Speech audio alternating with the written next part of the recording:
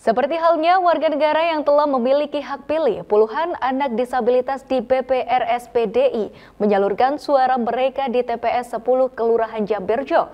Dalam kesempatan ini sebanyak 224 orang masuk dalam daftar pemilihan tetap di TPS 10. Tanggal 14 Februari 2024 menjadi pesta demokrasi bagi rakyat Indonesia untuk memilih Presiden dan Wakil Presiden Indonesia 2024-2029 tidak berbeda dengan daerah-daerah lainnya di Indonesia.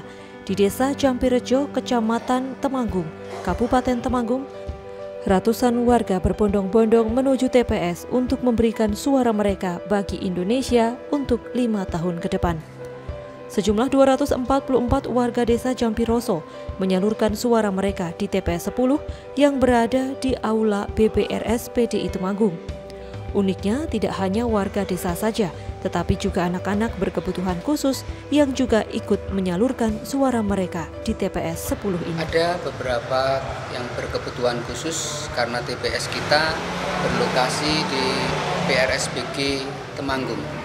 Ada sekitar 15 anak-anak berkebutuhan khusus yang ikut mencoblos pada hari ini.